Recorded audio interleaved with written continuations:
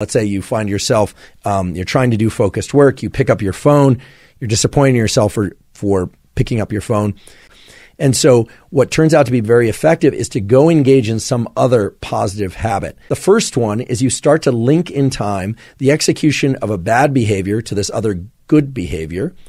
And in doing so, you start to recruit other neural circuits, other neurons that can start to somewhat dismantle the sequence of firing associated with the bad behavior. You literally exit whatever you are doing and perform that other new positive habit in the immediate period right after that, even for a short period of time.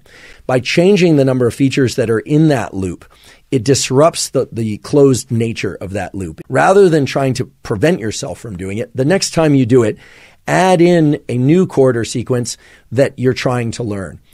What this does then is it changes the whole nature of the sequence of neurons that are firing from bad habit through to the end of this newly applied good habit.